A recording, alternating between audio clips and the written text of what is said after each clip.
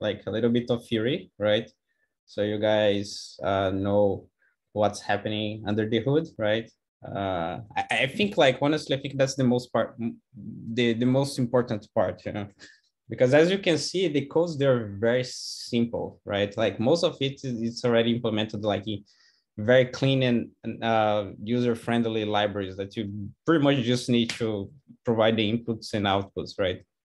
So I think that like understanding how things work so you can uh, make appropriate use of the parameters that those libraries they offer, right? And like when things don't work, you know exactly how to intervene and perhaps uh, fix stuff, you know? So I think that's the really the, the goal of these uh, few lectures that I'm gonna be with you guys. I like the gentle introduction, very good. Relate to the formula. Yeah, perfect. Yeah, so uh, I'm exactly gonna cover that uh, as like a quick review of what we discussed in the previous lecture. And I realized because other people asked as well uh, that uh, the transition from the support vector machine, right, uh, which it's mostly used for classification problems, how we can adapt that to uh, regression and how the parameters they uh, might help you to perform a regression. Uh, it's not entirely clear, so I'm gonna start the class today exactly by explaining in a bit more details how this transition takes place. So yes, I'll do that now.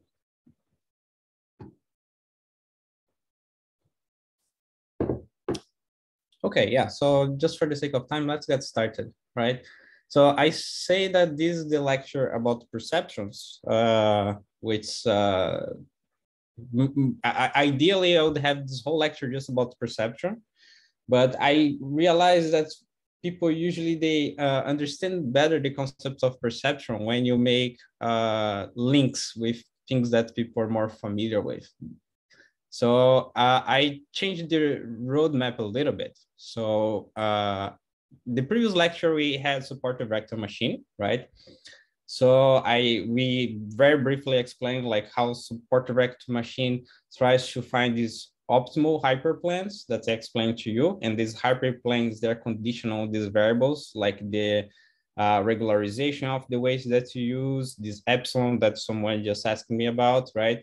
Uh, and what we're to see is that like there are other methods that they're uh, also very famous and they simply stand for not having a constraint on how optimal this hyperplane is. And like some of these methods are known for like logistic regression, ridge regression, you know, like, so we're going to see exactly like how removing components from one method and other in adding few other punctual elements to this uh, uh, minimization problems that we're trying to solve, you move from uh, one classic regression or classification uh, technique to another. So that, that's usually like a pretty cool way of learning like how, what's the difference between these methods, right? And then before I start with perceptron, right, uh, I'm gonna just review very briefly linear regression with you guys. I'm pretty sure you all are very familiar with that. I just want to make sure we are all on the same page.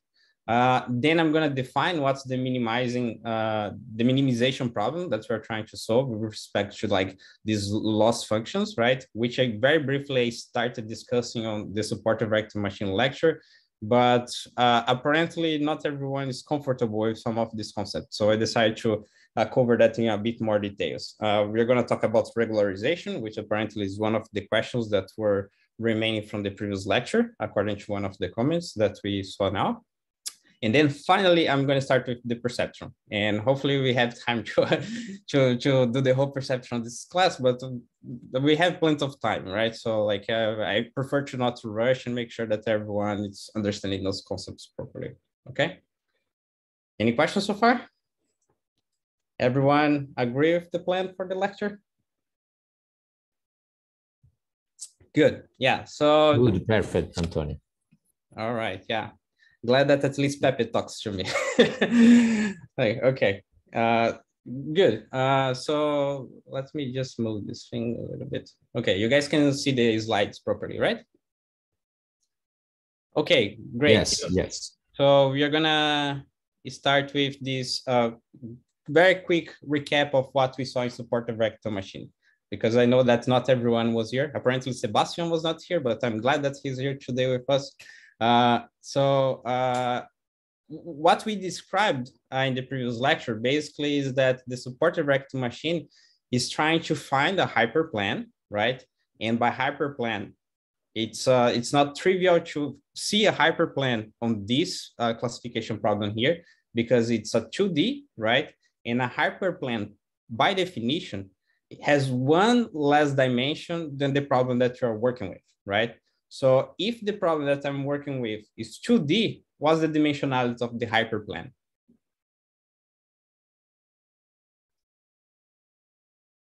Anyone? A linear, a linear equation. yeah, it's 1D, right? Which a, it's a single line, right? So you see that the hyperplane for this problem that we're working with, it's 1D, so it's a line. But if it was a three-dimensional problem, then the hyperplane, it's an actual plane, it's 2D, and so on, right? Great. So as we discussed, there are several ways to solve this problem, right? Because like if my only goal is to just separate those two classes, I have infinite hyperplanes that are capable of doing that, right? And there are several methods that uh, aim in fighting that, okay? And we are gonna see some of them uh, in a few slides, right? But the uh, cool thing about the support vector machine is that you try to find the optimal hyperplane by doing what exactly? Anyone that was in the last lecture can help me to explain what exactly the support vector machine does to find the optimal hyperplane?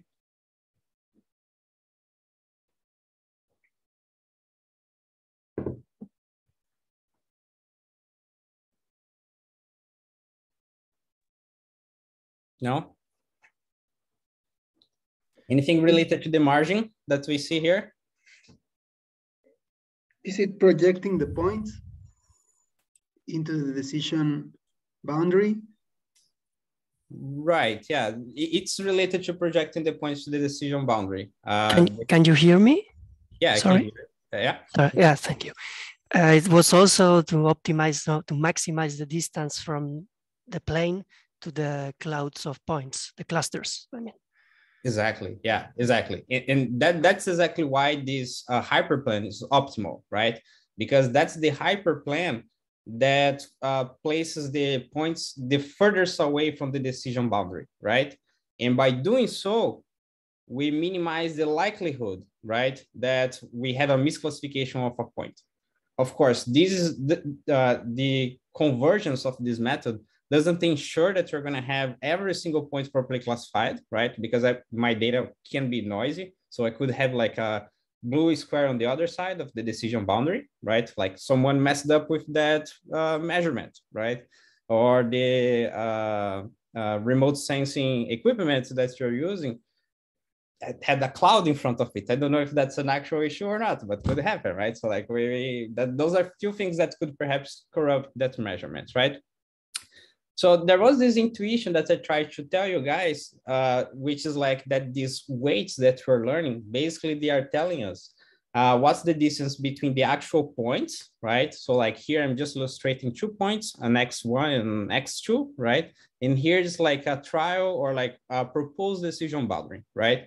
And this Y, uh, this W here, essentially stands for like what's the distance that I, I am uh, from that that point is from the decision boundary okay? And i just said to you that like okay this is essentially uh, uh, an intuition that comes from linear algebra right? But i uh, i i just threw this piece of information out there. Nobody asked me if what, what i was actually saying. So i put this figure here just to make sure that this concept is like concrete in our minds okay? So you see that these uh, weights they are uh, orthogonal to the decision boundary, right? And the uh, largest the weight that I have, the furthest away I would be from that point, okay? But of course, I cannot be infinitely away from that point because necessarily I would be moving closer to the points in the other class, okay? So like you see that I, have to play this uh, game between like where I'm gonna be placing this boundary but still like trying to maximize the distance between the two classes, right? So one alternative is that instead of trying to uh, maximize the distance between those two, right? I can try to make each one of these points to attract the boundary, right? And the convergence in this case is that like by attracting this guy, right, towards here, I'll be maximizing this distance. And by attracting this decision boundary towards these guys, I'll be maximizing this distance, which also solves the problem and allows me to write a very uh, beautiful equation that I can just minimize very easily, okay? Which is this equation that I showed to you guys here. Good? And then I try to explain to you very briefly uh, how this uh, game goes in order to optimize those weights, right? That are the distance that I, each one of my points are from the decision boundary. By doing that, like uh, for each one of the points in the class, right?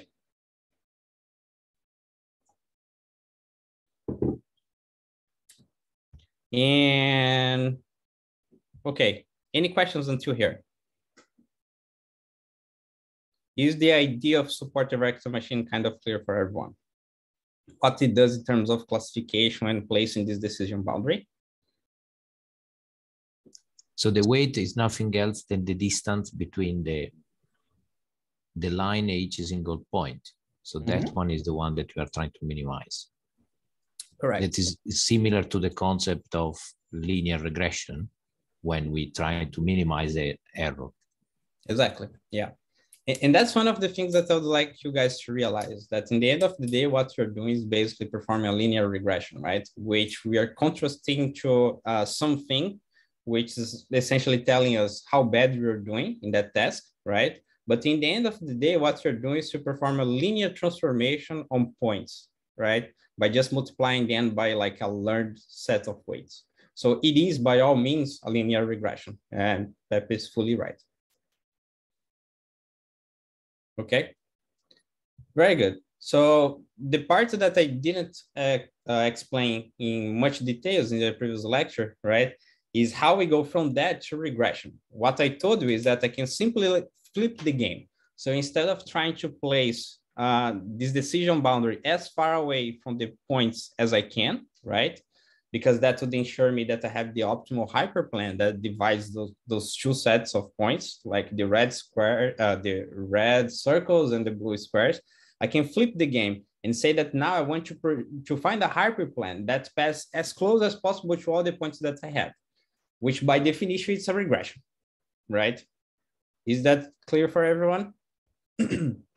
okay, so now the margin, right? Like the, the, the margin that I have essentially explains to me how far away my uh, hyperplane, right? Which here is now represented by this red line, okay? So the data points, they are shown in blue, okay? So this is a CO2D problem because it's just easier for us to visualize. But note that uh, I have no constraints on the dimensionality of the problem, right? So like I could be doing that in like arbitrarily large dimensions, okay?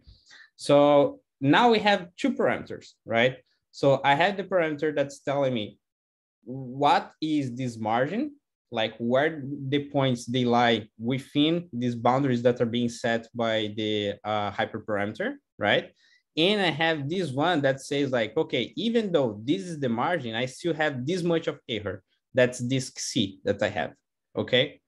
So now my loss change to be, I still trying to minimize the weights because the weights, they basically are this disconstrained with respect to where the margins are, right?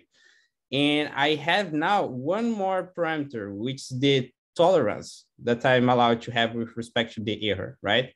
Because again, if I'm trying to place the optimal hyperplane to perform this regression, right? Uh, the hyperplane is defined by this epsilon, which says like how much of uh, optimal fitting I, I have with respect to the points, right? And I have a tolerance that also tells me like how much I'm willing to accept with respect to misclassification or like poor fitting to the data that I have. Okay. So now I have just those two parameters that I need to optimize, which is this C, which now is defined by each one of these points, right? Like how far away they are from the margins that I'm setting, right? And also this uh, set of weights that basically they are trying to tell me like how wide is uh, the uh, neighborhood or the margins of my uh, hyperplane, okay? So you see that's like the equation per se is very similar, right? Look, this was the loss function for the supported vector machine classification, okay? And this is the one that we have for regression. Extremely similar, right? Any questions until here? So did, did this explain a little better what is this epsilon and uh, what is the re regularization that you're looking for? Are there any questions? Like whoever asked that question on the uh, poll, if you still have any questions about that, please feel free to speak. And I'm gonna try to address that. So can we say that this uh, basically covers like SVM for both classification and regression now? Are we all good with those concepts? Because as Pepe hinted here, right, essentially what we're doing is this to solve a linear regression, right? So this is a linear regression, correct? We're just trying to find the optimal set of weights that are going to transform my data point. And I'm going to compare to something to say if my classification was good or bad in this case. And here I also do the same. Basically, I'm trying to find this uh, uh, set of weights here, right? That are gonna minimize my loss. So like that is gonna grant me the best fit uh, to this data that I have, right? So if you go to that code that I shared with you guys on Jupyter Notebook, right? You're gonna see that some of the parameters that we have there for the SVR uh, library, that's the one that I use for the regression using supported vector machine. We had the epsilon, right? So epsilon again is defining how wide is this margin that I uh, I want to have. So it, it, let's play a little game here. So if I say that this epsilon that I'm, I want to have, it's smaller than the default, what's the implication of that? Can anyone tell me? Just to make sure that we, we really got this concept.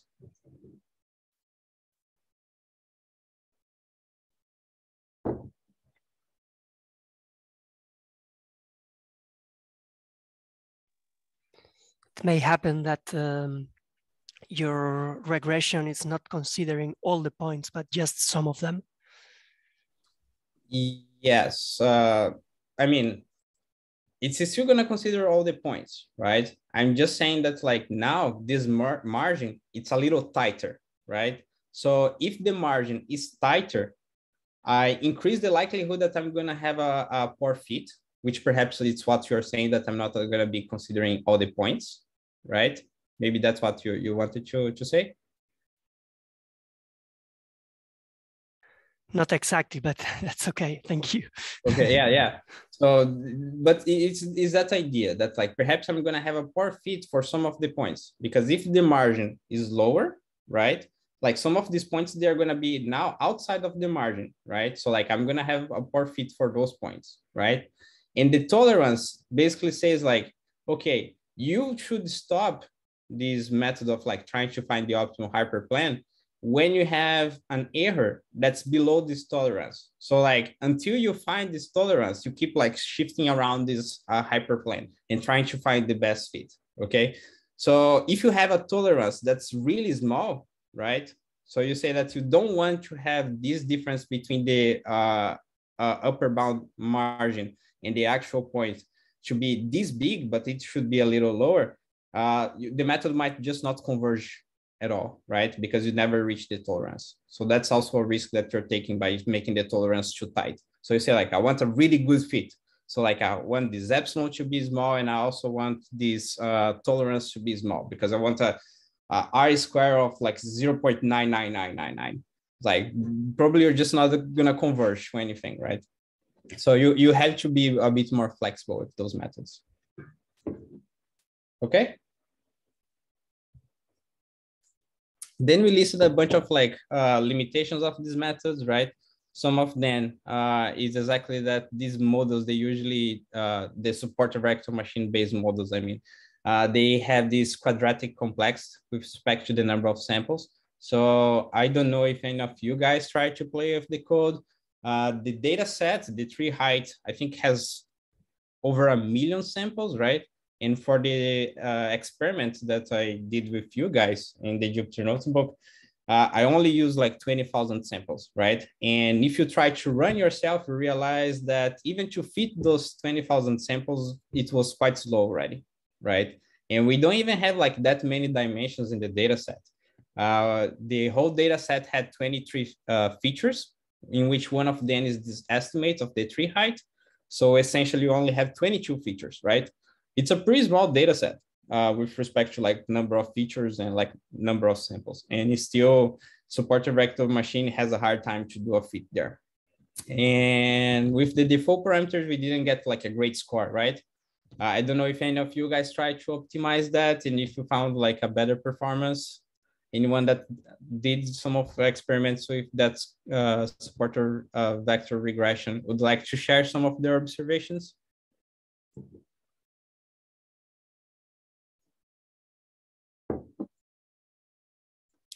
But let me change the question. Who actually played with the code after the, the class? Maybe Giskevit. She was the only one making one question for the code. no, I, I, I, I, I, run the code, but I didn't have time to start okay. playing with the parameters. So. Okay, fair enough. Yeah. I mean, okay, this maybe next time we will try to do it together. Yeah. Yeah, it, it's a it's a proposed exercise, right? It's like as, as I said, like supporter vector machine is not even my goal for like in most cases, but it's it's nice to see exactly uh, what are the parameters, right, and how they might play a role. Now knowing what they are they are meant for, right? So like you have a better intuition of how those parameters they work, right? But in any case, if you have a larger data set, there are things that you might be more successful uh, in employing for your uh, problem, right? Some of them is this stochastic gradient descent regressor. Being stochastic gradient, also the backbone of like uh, neuronal networks. So we're gonna see a lot about stochastic gradient in like few uh, slides, perhaps next lecture. Let's see how we are doing with time. And also like using different types of kernels, right? So for example, one of the other things that I said that uh, you, you can also change is the type of kernel that you use for the supporter vector machine. So like by default, the things that we're seeing here, it's a linear kernel, right? But you might as well have more complex kernels. So like some of them is like this radial uh, base field, RBF, right? And they have like more complex shapes in order to fit stuff, okay?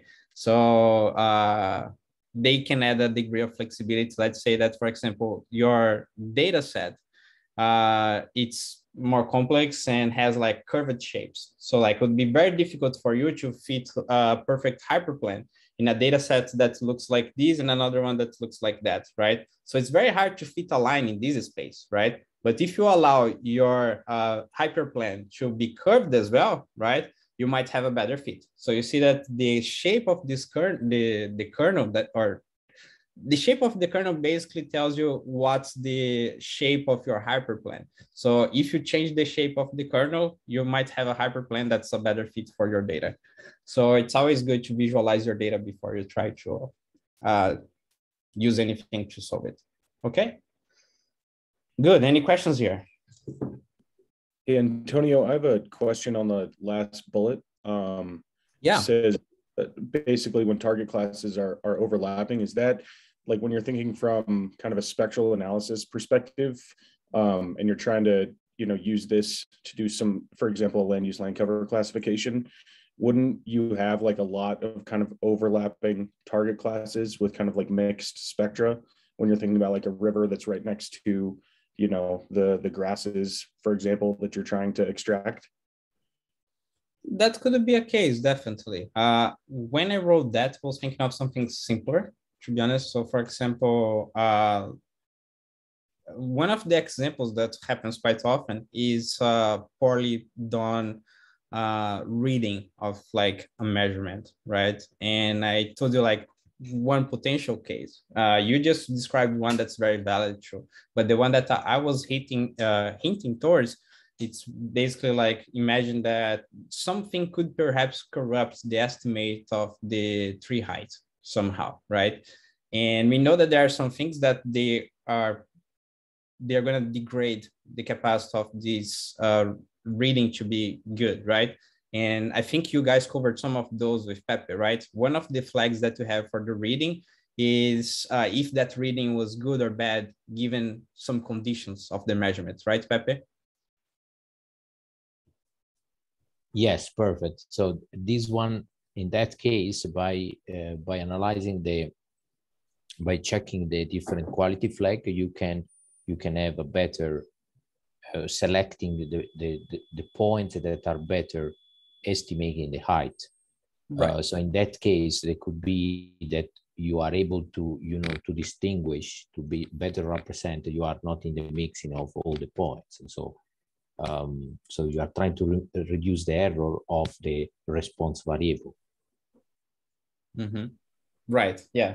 But in that case, let's say that like you don't have necessarily this flag that tells you how good the measurement was. So all that comes to you is that like uh, you got a measurement that uh, was supposed to be a tree that's like 20 meters, given like 20 meters high, given the location, but you got something that looks like 100, right? So like it's a it's saying that like oh i have a, a sequoia apparently by right by the, the the side of the river which doesn't make much sense perhaps right so like that's a noise a noisy measurement there and a supporter vector machine usually has a harder uh, hard time trying to fit into data that looks like that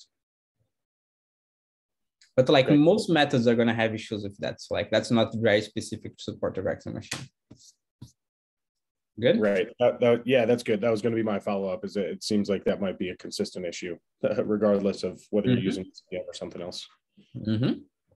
absolutely yeah how are we doing? Oh, when is the break?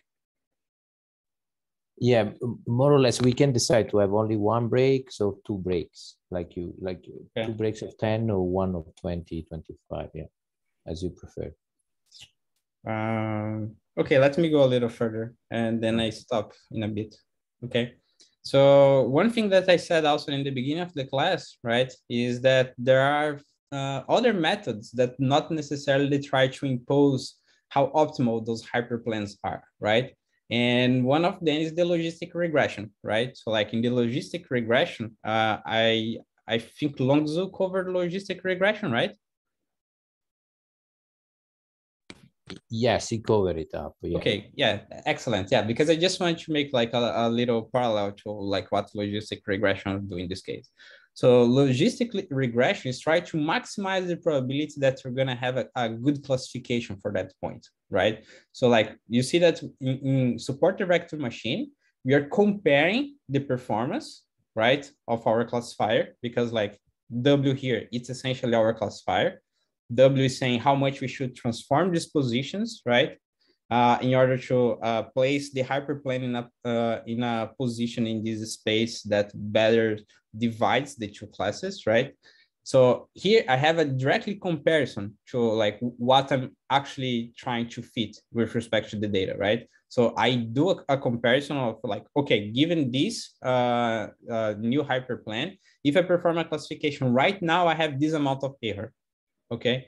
And you see that in the logistic regression, I'm trying to just maximize the likelihood that my uh, prediction is gonna be good, right?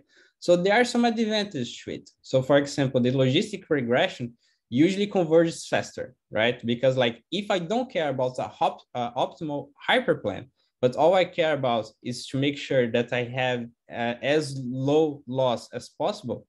Uh, use as we saw before, there are several ways to solve this problem, right? So like if all I care is to find a classifier that works, right? I have several options. So if I try to find the optimal one, then that usually takes a little longer, right? I think that's pretty intuitive, right? That if I'm trying to find the optimal one, usually that's gonna take a little longer, okay?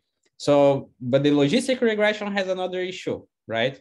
Uh, which that uh, the logistic regression, as, as probably you guys recall, uh, has a logarithm inside of this uh, loss function, right? So what does it imply to, right? That means that if I keep optimizing this loss function until I obtain uh, error zero, am I ever gonna get to zero? What what's uh do I have a log of something that's equal to zero? No, right? So that, that's a issue because essentially what it means that like by aiming to uh, have uh, zero loss, right? I will be just keep like uh, doing iterations in my data, right? And as I keep doing these iterations, necessarily, I start to increase the weight of this uh, the, the weight that's defining my hyper my hyperplane, right?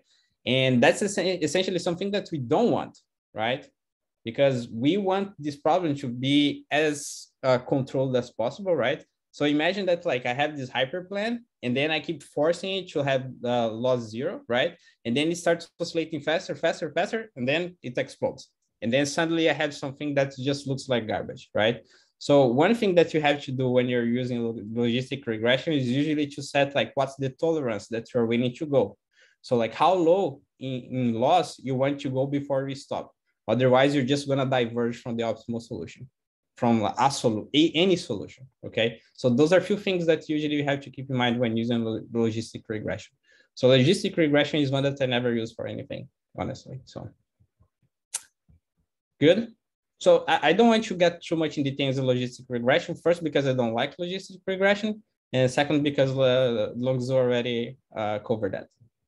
Okay. Any more, any other comments here?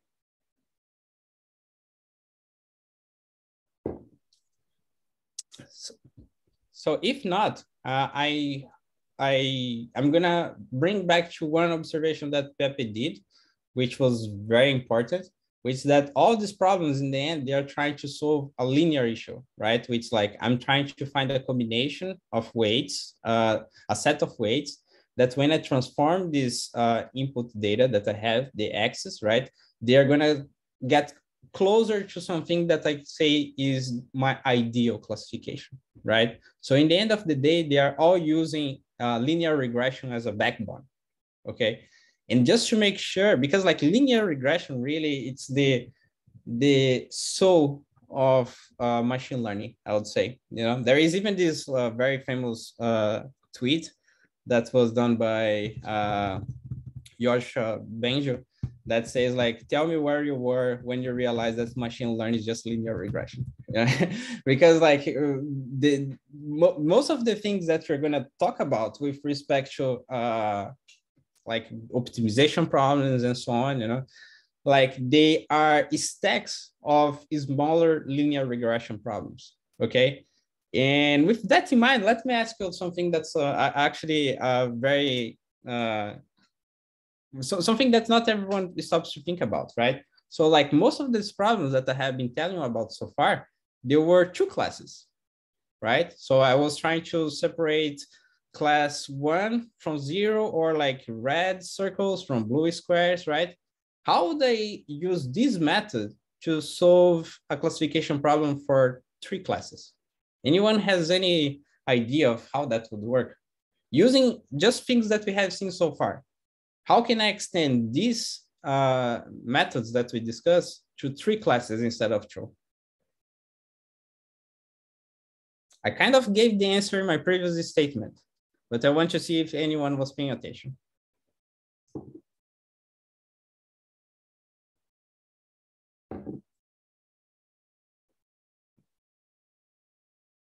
No?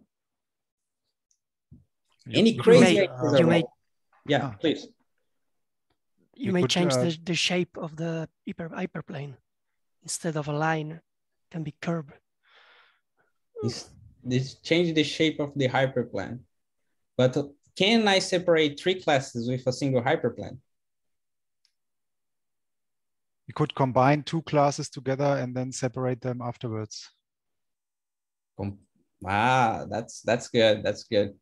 So essentially, that's that's what we do, right? So what if I say that first I want to separate class A from B and C, right? So for the first pass, right, I say that B and C are just one big class, and I want to separate B and C from A, right? Then I find a hyperplane there. Now I want to separate A and B from C. I find another hyperplane there, right? Can I separate three classes with two hyperplanes?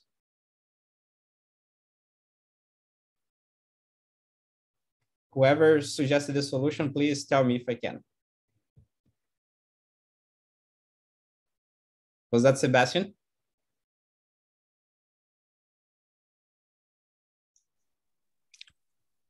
No? You, uh, yes, I think you can distinguish them with two hyperplanes. Yes, I can. Yes, that, that's what I was asking for. I want to like a very affirmative yes. Yes, I can. So if I had four classes, I need three hyperplanes, right? And then I can separate everything. Good. Is that intuitive to everyone? So basically what we do when you have more classes is we stack more of those problems. But they again, they are all essentially solving a linear problem on their own, right? Is that clear for everyone?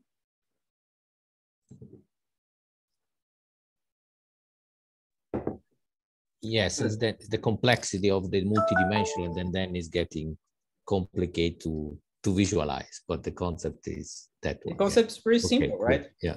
Yeah. And good. I, I hope everyone is in the same page here, but feel free to send questions or just unmute yourself and ask questions. Okay. But so since we agree, right? I hope we all agree that uh, in the end of the day, we're just solving a linear regression issue, right? I want to make sure that we have the concepts of linear regression very strongly uh, placed in our set of tools because linear regression is going to show up again. Like, for example, we already have seen that linear regression is support vector machine, is in logistic regression, uh, and it's going to be in perceptron, it's going to be in deep neuronal networks and so on. So like, I want to make sure that we are all talking in the same language here, okay? I don't think linear regression is in uh, decision trees or random forests, right, Pepe? Not really, because they identify threshold, no? Yeah, it's just a set of thresholds, right? Several So there is not a, a real weight uh, that yeah. is a coefficient or many coefficient. Yeah. Uh, so it's, it's working in another way. Yeah. So it's, it's I don't think that the backbone is is really linear regression over there, but we can we can have a look through it. Yeah. So it's like random forest is really brute force, right? It's like it's trying thresholds here and there until you finally find something that solves the problem. Yes, yes. It's a, it's a bit completely different from the approach from this kind of support vector machine or the other one like Mars multi-adaptive regression spline. And um, so it's, it's really different, yes. Good. Okay, let's move on now. All right, so we're gonna have this extremely quick review on linear regression. Actually, you're gonna tell me how linear regression works uh, because I'm pretty sure you all know how it works. So I'm gonna give to you this data set, okay, that it consists of like X observations, right, that have uh, any features or predictors. So like that that's like a set of it's a table essentially right? With uh, like several observations which are the rows and i have all these uh, columns which are n columns right? Which are my features right? For that i have this set of weights w right? Which basically they are telling me how i should combine the these features in order to obtain like a good prediction okay? So now from what we have seen so far, right? You guys remember that statement that like kind of summarize all machine learning altogether, which says that like for a task T, right? I had to find the right metric that I want to optimize, right? P, which basically stands for the performance, right? And we saw that there were a few options there, right? For example, some of the performance metrics that you want to use might be the R square, for example, might be the mean square error, the mean absolute error. If you're talking about a classification, we were talking about the accuracy of the classifier, right? So like usually like people talk of cross entropy, binary cross entropy. But if it's a regression, what's the performance that I want to use here? Anyone can give me the, the right metric?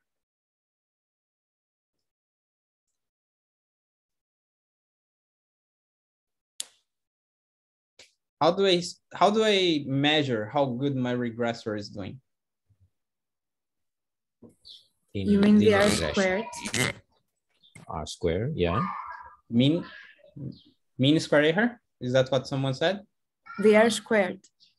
The R squared is one of them, right? Uh, the, dif the difference is that like when I'm uh, optimizing for R square, I want to maximize R square, right? So like, then the problem is different. But like for uh, the sake of like minimizing a loss function, usually we use the mean square error, okay? But like, yeah, it's, it's a metric. The R square is a metric.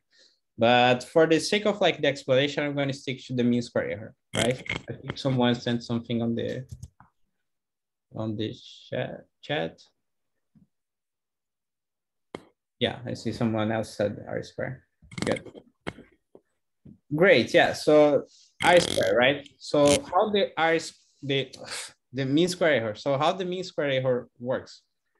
Essentially, I obtain an output for my model, which here I'm saying is the y test. Okay, I compare to the true uh, uh, to the true measurement or the target, right? And for each one of these entries that I have in my table, which I'm saying that I have I uh, entries, right? So like I have I observations, I compute the square of this error, right? And that's why it's the uh, square error, right? And where the mean comes in, the mean comes in in like, I'm gonna do that, like it's a mean over all the errors that I computed. Good? Very good. So now, if I'm saying that I want to obtain an error zero, what does it mean? Okay, so like, just like, so we can have a picture in our minds, this is the regression that we're trying to perform, right? So here I have like some data points, as you can see. This is how my uh, like this feature X that I'm showing here correlates to an output. Okay. So here, like it's an extremely simple regression problem. So ideally, right, I'm gonna be playing around with these weights, right? That uh, tells me uh, how I should be combining the features of the data, right? Here, for example, since I only have one feature, so I only have one to, to play with. Uh, there is some noise happening. Maybe if everyone can mute themselves, just to make sure. Yeah, yeah I did, I did. Okay, perfect. Thank you. Yeah, so now I want to find this the weight that's gonna give me the lowest loss, right? The lowest mean square error, right? So I could empirically just be moving around with this uh, error, right? And uh, with this weight and verify how big is the error that I'm measuring, right? And then finally, I would see that at some point, changing further away from this minimal point here, from this minimal location, would just increase my error, right? So empirically, we should be able to estimate what is this uh, error, uh, what's the optimal weight that's gonna give me the lowest error, right? But since uh, this uh, error uh, the, the way how my weight is related to my error, it's such a nice shape, right? You see that's like sort of this parabolical shape. I can very well just say that I want this, uh, the weight that gives me the minimal error, okay? And for those of you who remember calculus, I, I, want you to tell me which. Uh, Where is the point? Yeah, sorry? where is the point? Where is this point? If yeah. I want to say that I want to inspect this loss function, which, as I said, this loss function here, right, is essentially conditioning the shape that we're observing here. I want to find the minimal loss, right? So like as low as, as I can go for a given weight. I want to find the weight that's gonna give me the minimal loss. How do I do that?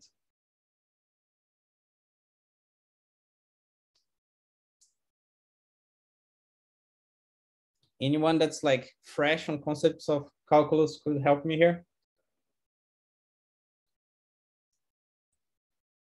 Do you derive? I could derive, right? Excellent. Anyone knows which, what's the symbol that I'm showing here? This inverted triangle?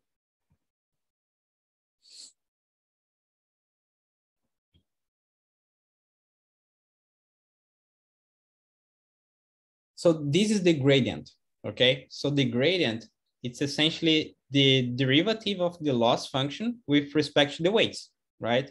So if I'm saying that the loss, it's minimal at this point, right? I'm expecting the derivative in this point to be equal to zero. Zero. Excellent. Very good. So very good. Is that clear for everyone? Any questions here?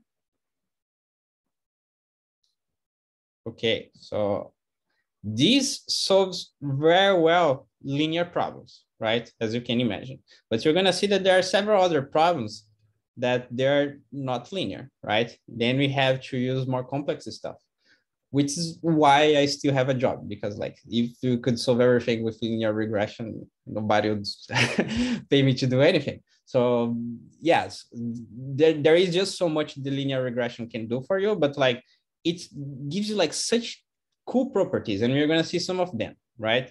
So for example, uh, this is just for those that are like, oh, but this is just like one variable, right? So like we're just talking about having just an X and finding the, the weight that gives me the best regression, right? The best uh, uh, mean square error, the lowest mean square error in this case, right? But how would that work for more variables? Exactly the same thing, right? So for example, if you're dealing with like two variables now, then we have this uh, loss function that would lo look like this sort of bow, right? And one concept that I would like you to keep in mind as we go forward is how convex the loss is, okay? And why is that important? Because the convex, right, essentially stands for this bow shape, right? And if I'm saying that the problem is convex, it's great because there are several things that we can observe here. So first of all, there is just one minimal point in a convex shape, right?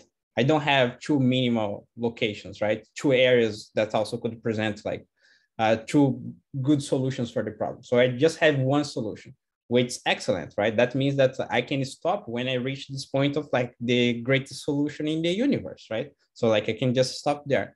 Uh, and there are things that we do, we go out of our way just to ensure that the problem can be described as being convex. Because if it's convex, I can find a unique solution for that, right? And I hope you can appreciate that finding a unique solution is great for several reasons. So for example, let's say that there are like two points that they equally uh, present solutions, right, for the problem, but uh, they might just result in completely different out outcomes if I apply them, like to solve the problem. I, wish I had a great example to, to tell you now. Uh, of when that could happen. Uh, that that's gonna come to my mind early uh, later today. But if anyone can have like an example in mind that you'd like to mention, like when two uh, initial conditions that could perhaps like represent solution for our problems, they would lead to completely different outcomes. No, perhaps in weather, yeah. perhaps in weather we could say that there is such thing. Yeah, it doesn't come to my mind now, but yeah, let's see. But yeah, anyways, if comes to anyone's mind, otherwise, like if it's like a cool example pops in my mind, I, uh, I, I say later. Okay, very good. Antonio, so like one question. Yeah. Can you can you link so the the the formula before you were saying that derivative Mm -hmm. Yes, the derivative is is the gradient. The so, derivative is the gradient, yes the, the, derivative is a gradient. So we are mm -hmm. trying to, when you say we are trying to minimize the loss function means we are trying to reach the derivative equal to zero and the mm -hmm. gradient, so the gradient equal to zero. The gradient of, this function should be equal to zero, yes. Okay, perfect, just to be sure. Yeah, and, and why I'm talking about the gradient here, because like we just said that's a derivative of this function, right? But the gradient it's with respect to all the variables that you have, right? So for example, the gradient uh, in this case is just the derivative of this loss function with respect to W1, right? But let's say that I have like a problem that has more dimensions. So like I have W1, 2, 3, 4, and, and so on, right? So that would be the derivative of this function with respect to W1, then this function with respect to W2 and so on, right? And that's essentially what the gradient summarizes to us. Just says that's like the derivative of this function with respect to all the variables that they have. Okay. Okay, so is is yes, is including is including all the derivative for each single uh, okay. Root means okay, I get it, I get it. Yeah, yeah. Okay. Good. Thanks. Any other questions? My allergies are killing me today. From my when I took like calculus, I remember that the derivative was the area under the, the curve, right? No, I don't know if that's the integral. Yeah, that's the integral. Okay. So what we're trying to find is like the lowest point or the closest to zero or just the zero. For me, that concept is a bit uh, strange. I didn't I didn't catch it as well. So the, the derivative, right? So the derivative here means the point where I'm gonna have the lowest loss, right? Because that means that at this point here, I'm I'm granted to have uh, the derivative here is just like a parallel line, right? That's gonna be fully horizontal there, you see? So I, I wish I had the, the blackboard. That, that, those are the moments when online lectures. Uh, Antonio, just the right, is the tangent. So is the, the tangent, tangent so yeah. Is everyone familiar with this concept? The tangent? Yes, it's the tangent. Okay, yeah, great, so yeah. The tangent, you know, in this, in this curve changing, mm -hmm try to find a, a, pen. So maybe you can help me, Antonio. Uh, it, changes, the tangent can change. Uh, it goes from. Does this work? Ah, it works. Excellent. Yeah. Perfect. Bravo. Yeah. Yeah. So, so that like, one is the first tangent. Yeah. Right. So here I have a tangent to the curve. Okay. But the, the derivative basically tells me what's the slope, right? Yeah.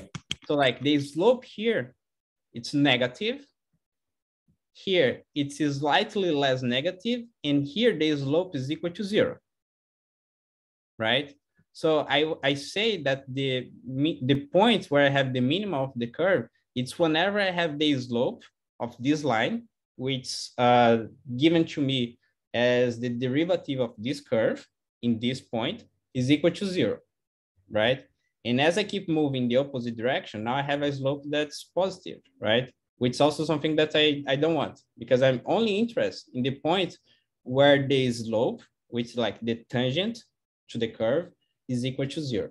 And in that moment, as you can see empirically here, is going to be the point where I have uh, the minimum of the curve. And what about if there is a maximum? Ah, I was going to ask that later, but yeah, excellent. Okay, so that, you have to take care of yourself, I guess. Yeah, so if I have like a curve that looks like that, that's something that I was going to ask later, but since we're very touch on this topic, if I say that I'm looking for the derivative equal to zero, right? I have a derivative equal to zero here, one here, and one here, right? So you see that like for something that's a bit more complex, so like that, that's why I was uh, also hinting to you, like the importance of trying to make your loss function convex, right?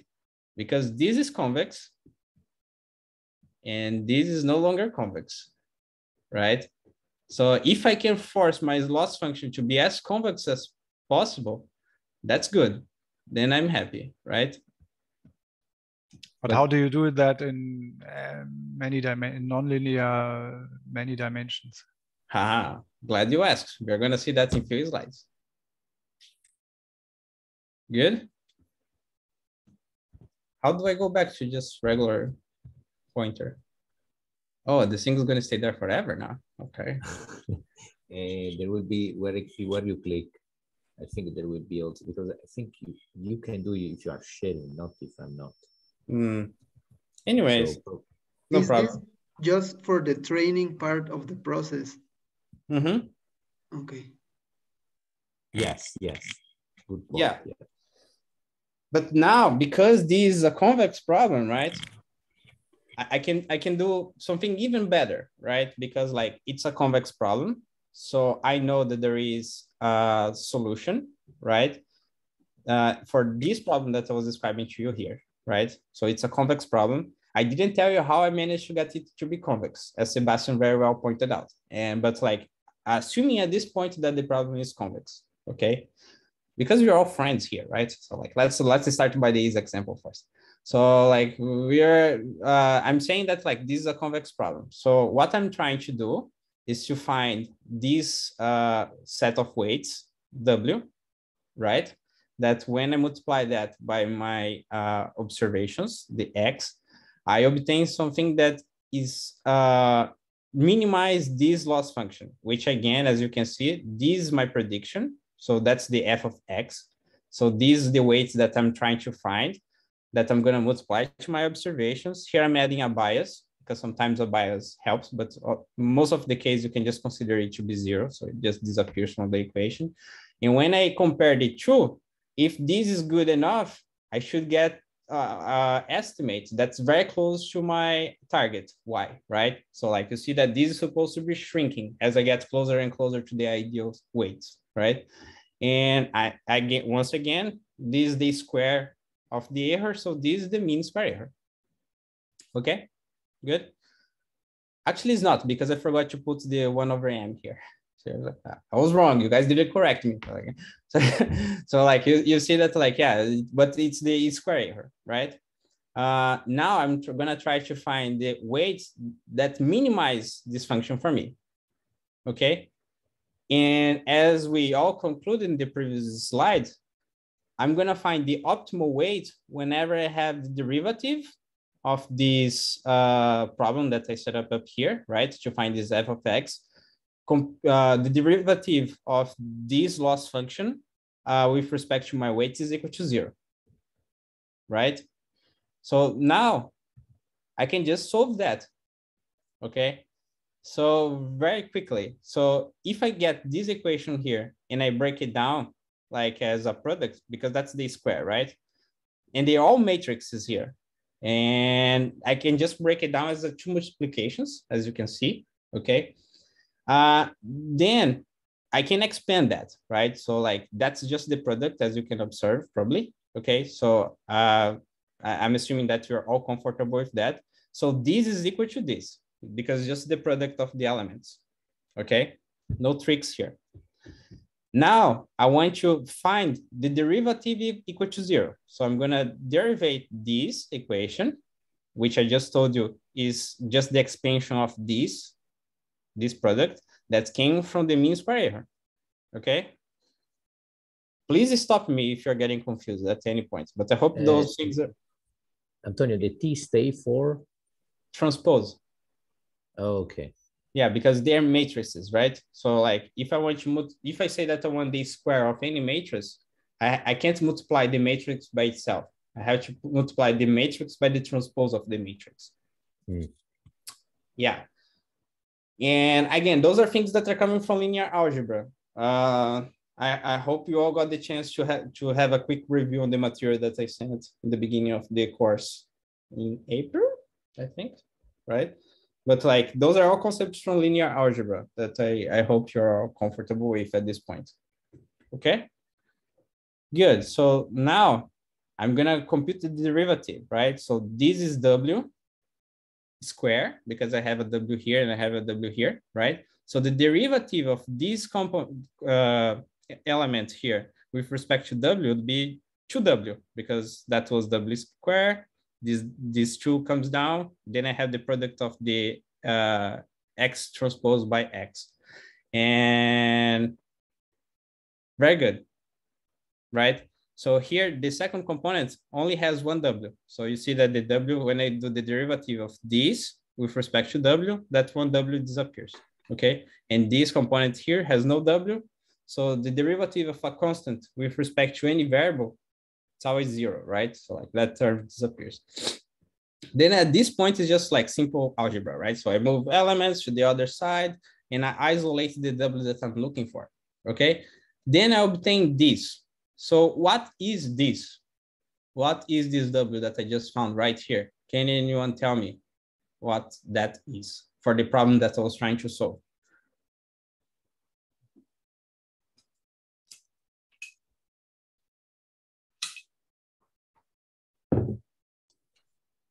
Okay, the W state was for the weight. The W was for the weight, but not any weight. It's a specific weight. Is the weight that minimize this okay. loss function. What was this loss function that I was trying to minimize?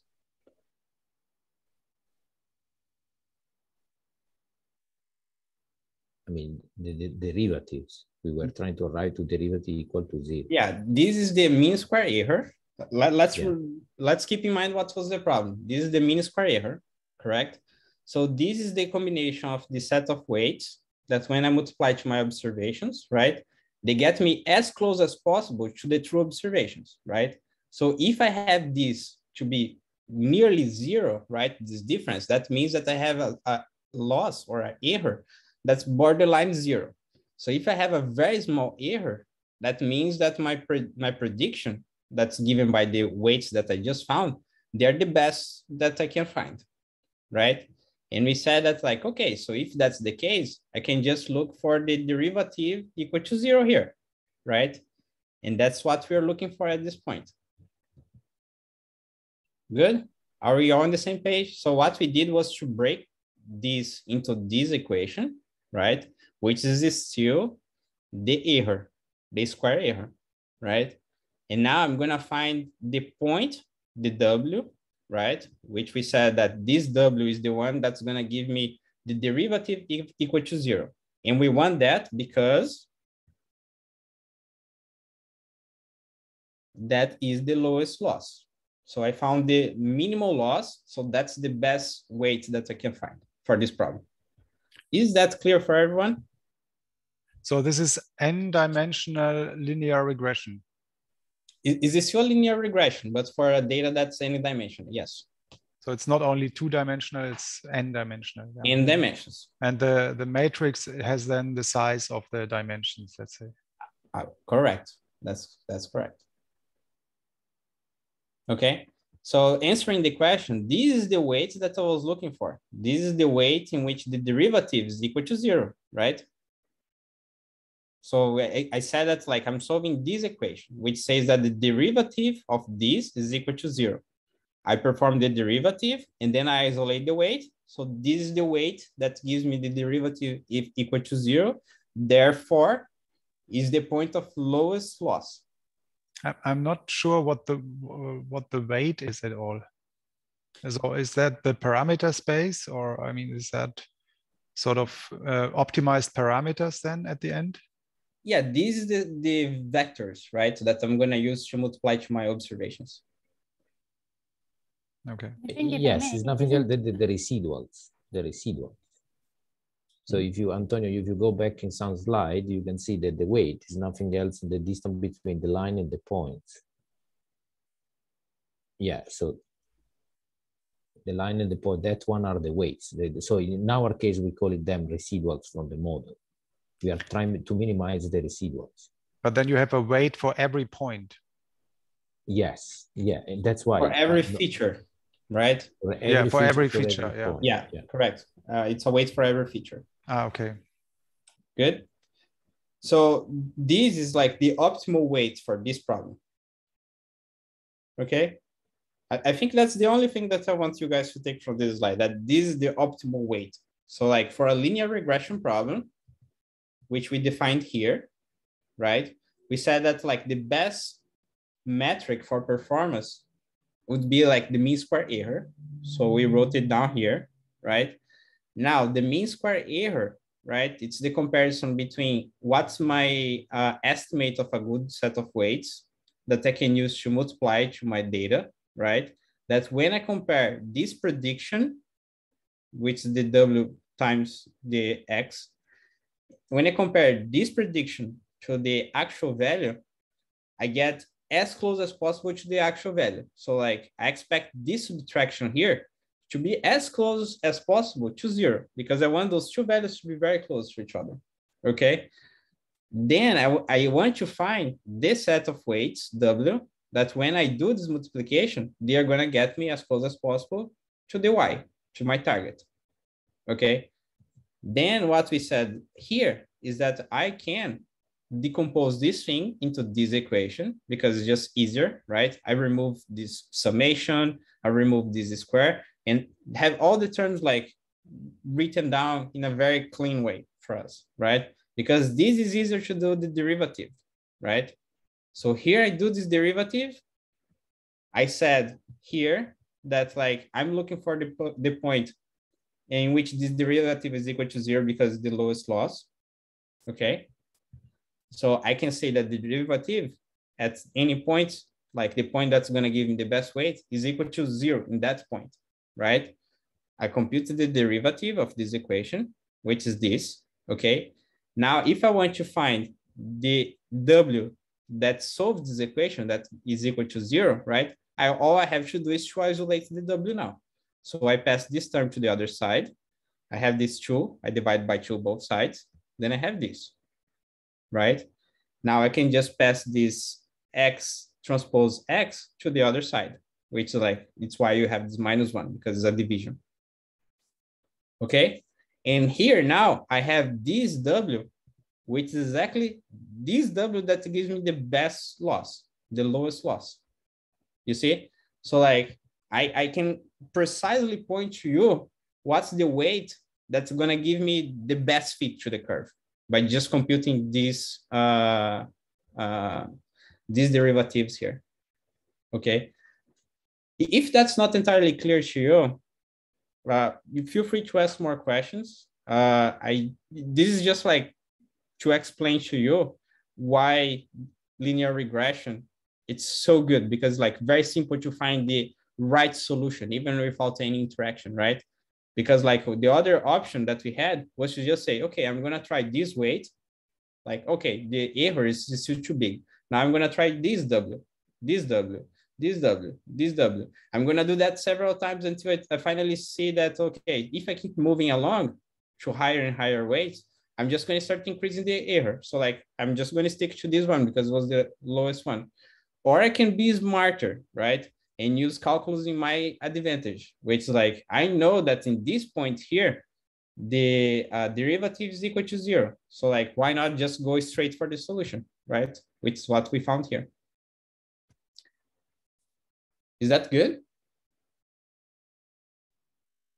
Yes, I think we reach a good understanding of the problem. Did we? Yes, better than before. Okay. Any questions? I'm gonna ask one more time. I, I see very confused faces on on your cameras here.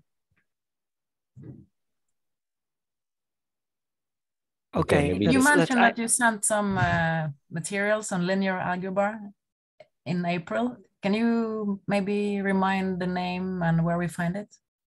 I will do. Yeah, I will, I will do after the class today. I was just looking for it. It's in the in the Slack mm -hmm. on April fifth. I just searched for it. Yeah. Okay. Thanks. I was also looking for it but I think I I don't think we have to solve these matrices, right? This Python will do this for us or no, no, yeah, we don't have to solve the matrices. Like Python is gonna do all of this stuff for you, you know. I just think it's important for you to understand what Python is doing because Python is not a black box, right? You, you have to understand uh, the minimal of like what Python is doing for you. So when things don't work, let, let's put like this. I can give you the car keys, right? and you're gonna drive it for thousands of miles. But when things break down, you're gonna open the hood, you don't have any idea of like what's the problem there, right? You can go ask for roadside assistance, which like let me go ask for a data scientist to solve this problem to me, right? But like in this case, you guys are the data scientists now, right? So you're the mechanic. You, you should be able to understand what's wrong with these models, right? So like so you can fix it. So that that's my I'm training the mechanics here.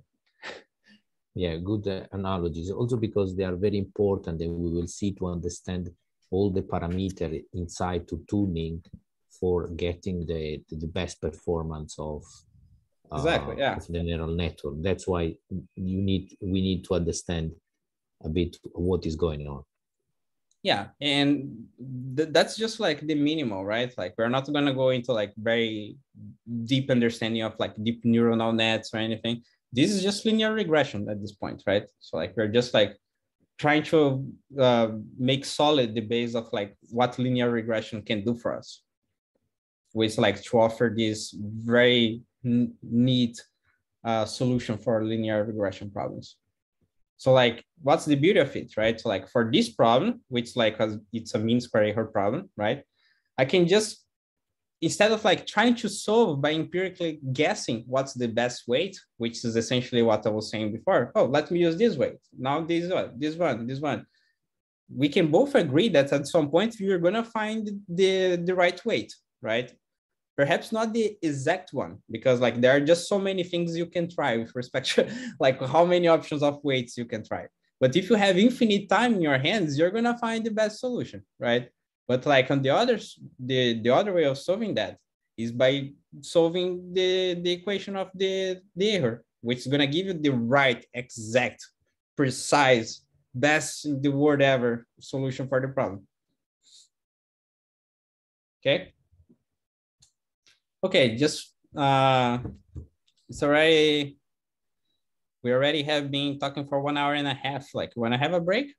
Yeah, let, let's have a break uh, we come back at uh, 45. Yeah, and in the meantime, like, so Sebastian said that he already found the review material, right, Sebastian? Yes, maybe I can, uh, but you maybe. put it on, can I upload or share file? What's it? No, copy link. Oh. You can upload one okay, I can try to yeah. copy the link and post it here. Mm -hmm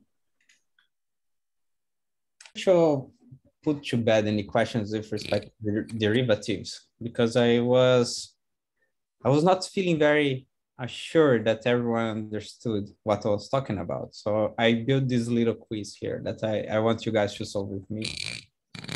Uh, let me put in full mode.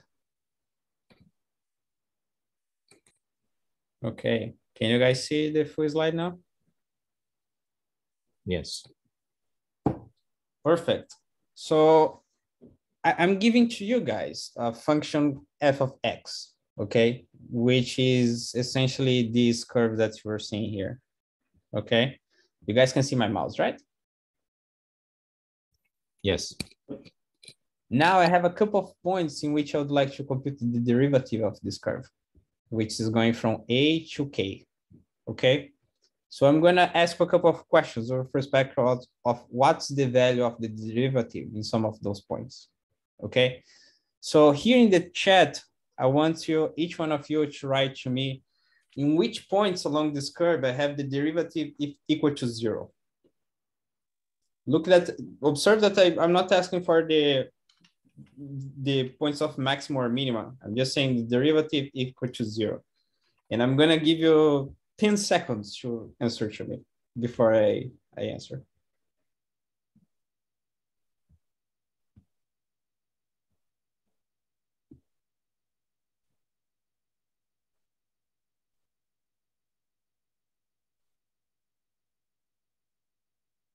Very good.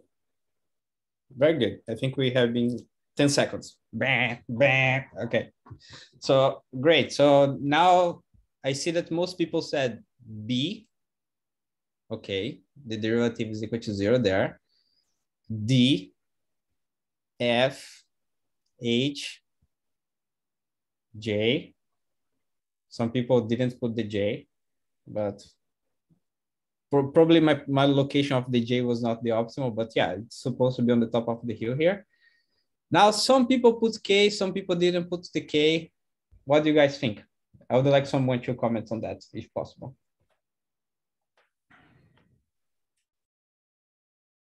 Uh, it's not static. It's not static? Is that a German word? Static? I don't know. Yeah. okay. I but, have to translate. No, yeah, no, just try to describe what you mean by static. Uh, it it uh, it's an abrupt change. It's not a it's not a, a gradual change. It's not a gradual so change. it's not defined. The gradient is would be not defined there or uh, infinite or something like this. Is discontinuous. F is discontinuous. Okay, yeah. Ah, great, great. And by being discontinuous, that means that I the derivative is not equal to zero. Oh. The derivative is not defined there, as you said very well. Right, right. Trying to put questions in your mind. You, you said it right in the first time. okay, great. Yeah, sorry. So why is it not defined? I would like someone else besides Sebastian to try to tell me why it's not. I defined. think the translation of state, static is uh, steady. I don't know if that's the right mathematical term, but that's what I wanted to say. Yeah. Steady or continuous, yes, you say, yeah. Yeah, but steady is difficult to talk about because we're not describing a dynamical system necessarily, right? So, but like discontinuous would be the case here. So let me see if I add a pen. Okay, this works. So why K is not defined? Anyone else besides Sebastian could perhaps help me to say why K wouldn't have derivative equal to zero? Because the tangent can't continuously approach the point and then go the other side, other side up again. Like as we saw before when you did it in the Yeah. That could be explanation, but the, the thing that I'm looking for specifically is, is to show you guys that like I don't have one single tangent to the point K, right? Like the derivative of a curve should be unique, right? So if it's not unique, then it's not defined, right? Because like how many tangents I can trace on K? I can have this one, I can have that one, I can have that one. So it's not defined, right? So like, doesn't make sense to say that what's the der derivative in K because F becomes discontinuous in that point. That was just a tricky one since I knew that everyone would get the, the other derivatives equal to zero, right? So like very quickly before we move on, because we're running out of time. so where the derivatives are positive in this curve? 10, 9, 8, 7. Okay, I see some answers coming in. Okay.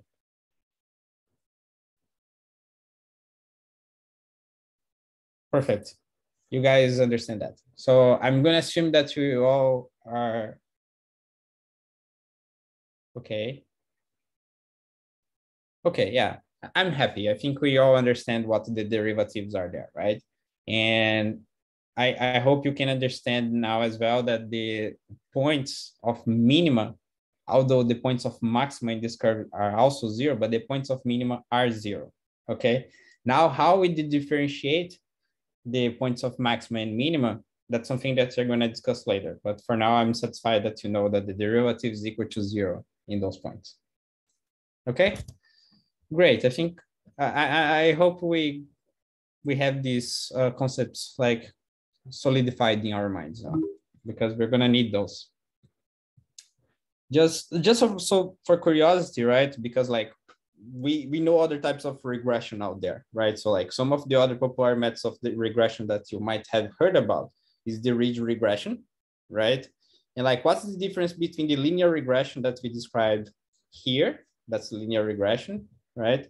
To this type of uh, ridge regression. So you see that the function is exactly the same. So like I'm also trying to minimize this loss.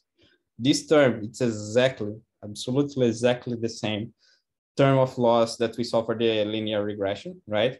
The difference is that now I also have this constraint on the weight, okay? So you see that like the weight, the magnitude of the weight that I have for the, uh, that for the proposed solution, they are also incorporating the loss that needs to be minimized, okay? So like I also want to have the, uh, the weights to be as, as small as possible, okay?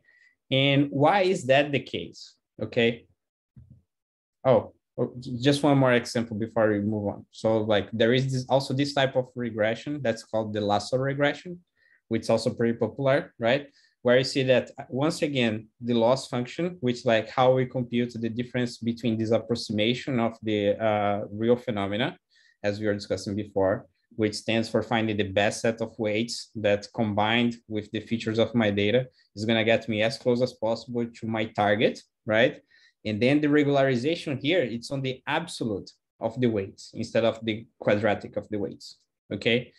So a few things. So for example, the uh, ridge regression it still allows us to use this closed form solution. So like, as you remember in the previous slide, I told you that like, if I use the linear regression, I'm perfectly capable of saying, okay, I don't need to iterate over all the possible weights in the universe to find the best weight for my problem here, right?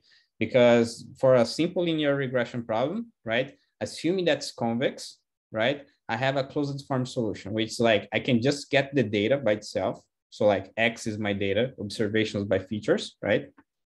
So like samples by features with the true value that I'm trying to approximate. And then I can like in one pass find the exact weights that I should be using to solve that problem.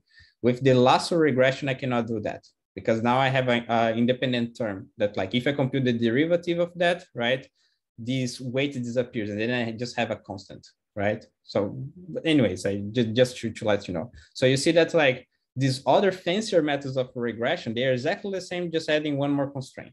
That's all I wanted to let you know. It's pure curiosity here, okay? Very well. So like one thing that Sebastian asked uh, in the first half of the lecture was like, okay, but like, how do we ensure that the problem is convex in the first place? So there are few things, few choices that we can make in order to ensure such, such thing, okay? So for example, let's say that we have two features, right? So like here I'm illustrating two features. In most cases, features, they might present some degree of correlation, right? Let's say that, for example, I have, tell me two geographic features that's usually are very correlated, like in the data sets that you guys come across. So like, if you know one, most likely you're gonna know the other as well. Clouds yeah, and rain. Perfect. Cloud and rain. rain. Perfect, yeah. Temperature and precipitation. Uh, sorry, uh, temperature and elevation. We mentioned the other day. Yeah, so, so uh, let, let's go for clouds and rain, right? So like most often when I have clouds, I also have rain. I'm assuming that's the correlation that you're proposing there, right? So like if I know that there is cloud, do I need to look at rain? Most, most often I don't, okay? So this could be a perfectly good solution, okay? But if I have that happening, let's assume that's like, okay, so I could just disregard completely the fact if there is rain or not for, for like this very uh, simple example that we're giving here, because I can just look if there is cloud, right? Now, what happens when the variable cloud is corrupted? My prediction is going to be garbage because I'm fully biased by the existence of cloud, right? So one of the things that you can make to make uh, your model more robust is try to distribute the weights that you you assign for each one of these features right? So like that's one of the things that we're trying to constantly do here by imposing these constraints on weights right? So we don't do that simply because we want the weights to be as small as possible. But because doing that you make the model more robust to uh, like small perturbations noise in one of the measurements and so on okay? And more importantly than that when you do such thing, you also, and I hope you just take me by my word because I'm not going to prove it here now, but I can share, send you some material. By doing so, by ensuring that these uh, weights they are small and distributed, you also enforce uh, the convexity of the problem, right? So if you're enforcing the convexity of the problem, we're trying to get as close as possible to this thing because this thing uh, allows us to do like a very clean uh, exploration of the loss landscape and makes our life easier of finding the optimal set of ways that we need to solve the problem. Good? Sebastian, all good? Sorry, I have to admit I had, I had just a phone call. I didn't listen. Sorry. Ah, okay. You can see the recording later. You don't need to uh, repeat. okay, good. Very good. So now we have the expectation, which like, okay, we expect our loss curves to be just like that, right? But the reality is that when you come across like real data out there in the wild, the these loss functions, they don't look as clean and organized as the one on the left, okay? So these are, it's a real uh, loss function, what you see in the right here and when you have that, you have some challenge, right? Because first of all, if I am looking for point of the derivative that's equal to zero, right? I'm gonna find several points of the derivative equal to zero. You see, like here, for example, it's like a point of local maximum even, you know, it's it's lower than the uh, outmost parts of this uh, area, right? But this is like high, right? But like when I'm trying to find the optimal solution visually, I see that it's gonna lay in this valley down here, right? So like trying to use linear regression in this case and use the only parameter this derivative if equal to zero doesn't work necessarily, okay? So like you see that like the although the linear regression allow you to find precisely what's the solution for the problem, it makes several assumptions that most often doesn't hold to be true. Okay. And that's when you need to start escalating the, the caliper of the gun that we're going to use to, to tackle this type of the problems. Okay. And that's the motivation for us to get to perceptrons. Okay, perceptron. So we're going to start at least perceptrons. Let's see how far we go with it. Uh, so uh, in, in this textbook, right, uh, Nielsen, he uh, described the perceptron with a very interesting take, which that first he made observation, right, which that uh, I don't know how familiar you guys are with logical circuits, right? Probably you have heard at least of like the AND gate, right? Which says that uh, if I have uh, one and one, the output of that AND gate should be the combination of both, right? So like if I have one and one, the output is one. If I have zero and one, the output is zero. If I have one and zero, the output is zero. And if I have zero and zero, the output is zero. So the only condition in which I have uh, uh, output one is if both are equal to one. Okay, so that's the traditional AND gate. Okay, so then you have other types of gates. The one that inverts the input. So you have one, the output is zero. If you have zero, the output is one. Then you have the OR, right? Which like if I have zero and zero, the output is zero. If I have zero and one, the output is one. The other way around, if I have one and zero, the output is still one. And if I have one and one, the output is one, okay? So I had these three different types of gates, but then Nielsen or like very nicely he puts in his book, you can very well replace each one of these gates by just a NAND gate, which like you you basically you invert the output of the gate. Okay, so the NAND gate can replace all these others. Like you you you just get more components as you can observe, but like you can still approximate any type of uh, logical circuit by just AND gates. Okay, and the cool thing that uh, Nielsen observed there is that we can very well think of a perceptron as being an AND gate. Therefore, NAND gate, it's a universal computational machine. And what's the implication of that? Basically, what Nielsen is saying is that like, doesn't matter how complicated the problem is, right? The best that I'm gonna get to uh, approximate to a solution is via a stack of perceptrons okay just like the NAND gates so like doesn't matter if like it's a OR gate, a NAND gate, an invert buffering gate, or something way more complicated like we have in our cell phones nowadays with like billions of microchips. Doesn't matter. I can replace each one of these gates by an AND gate, although it's gonna be a bit messier because like instead of having one gate, I need three now to perform exactly the same function.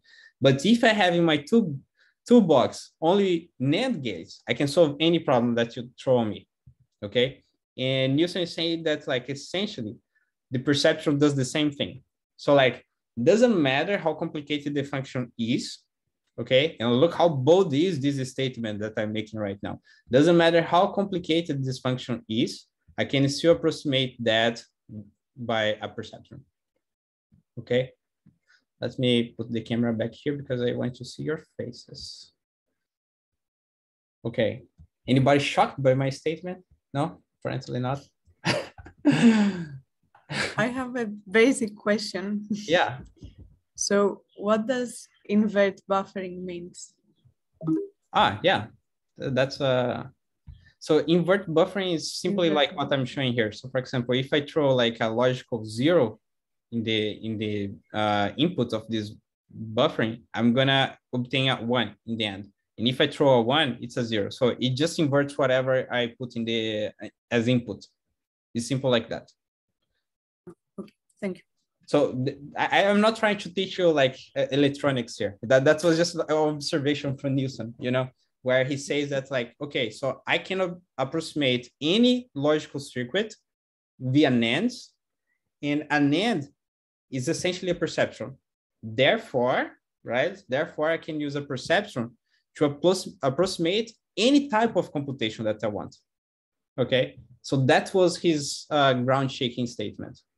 Okay, so what we are saying here is that like I can combine several perceptrons and uh, approximate extremely complicated functions, right? So like, for example, we have seen that like support vector machine, uh, logistic regression, uh, we just uh, went over like linear regression as well and several others, right? The methods for like regression and classification out there.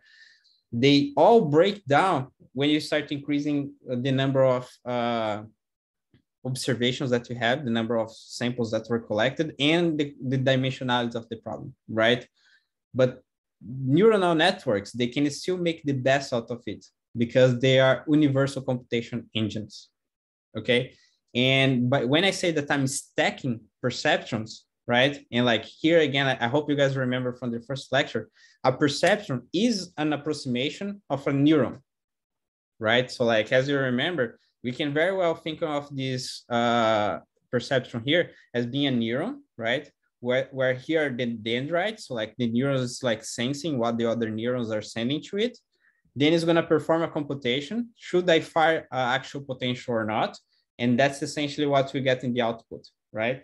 So if we stack several perceptrons, assuming that a perceptron is a single neuron, then we get large neuronal networks, or as people like to, to say nowadays, deep neuronal networks, okay? And those are basically like the uh, building blocks of our modern machine learning nowadays. Ah, are you guys blown away by that? No? No? Did you get whiplash with this transition? No? Okay. yeah, we, we, we are lost a bit. But anyway, uh, trying to, to, to link in the dot between this perception and the neural network that you say that each single perception can be a node in the neural network. Correct. Yeah. And the mm-hmm. link between the, the perception and the weight and also the weight function that one i think is something important to understand yeah i haven't explained that yet oh, yeah. okay okay, We're, we're getting there now i just want you to appreciate that in theory the perceptron is going to be capable to approximate very complex functions for example the cosine function of a phenomena that we, we could have as sebastian was asking before because clearly linear regression is not going to do much for us because like you can't approximate a cosine function, for example, with a linear regression method, right? But like you can stack several perceptrons, which like individually they solve like local linear problems, right? And approximate a cosine function if you want, right? And that's one of the things that I do actually in my research, which is like trying to solve mathematical problems using uh, uh, neuronal networks which I would love to discuss at some point if you guys are interested on that. But uh, let's stick to the topic here. Yeah. So great. Now, how the perceptron works. Okay. So here I'm listening to you, the loss function of a perceptron. Okay. So what is this exactly? What are we looking at right here? anyone that was paying attention on the first lecture that I gave to you guys in the first half of the lecture today could tell me what's this?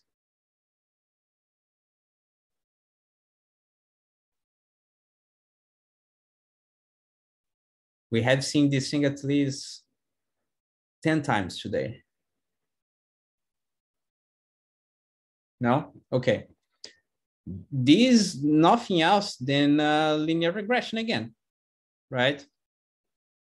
So this is basically what we're doing here is just to take the inputs, right?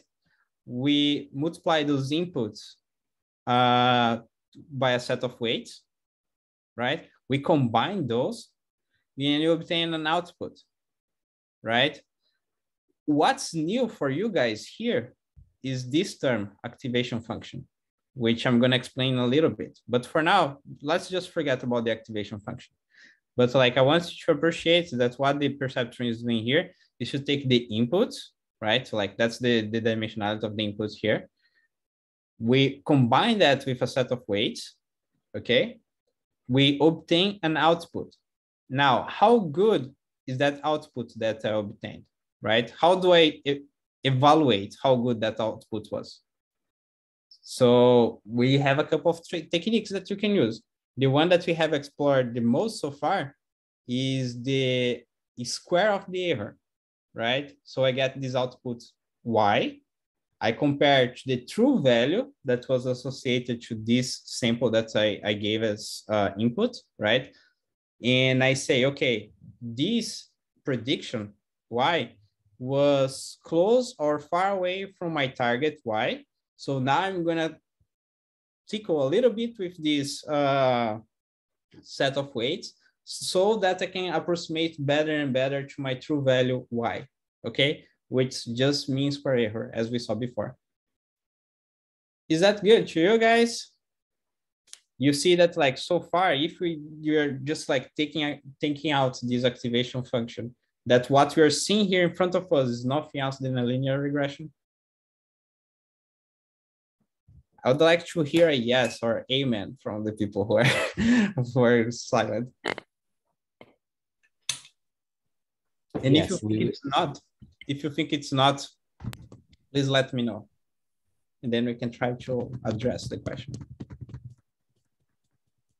Okay, yes, Antonio, I think we we get the point more or less, and maybe with exercise we will try to link back the formulas, you know, and the, the mm-hmm. theory mm -hmm. together with the uh, yes, with Excel. Yeah, I think the symbols and the syntax of the formulas is a little bit confusing, but you should we should probably just skip it or yeah, leave it. We have to be brave with the with the gaps of our knowledge. I think. Okay, yeah, that, that that's fair. That's fair. Uh, I I hope the material that uh, Sebastian shared again, the link to the material, can help you to bridge some of this gap. But if you think it's not enough, I can send more stuff uh, like this refresh.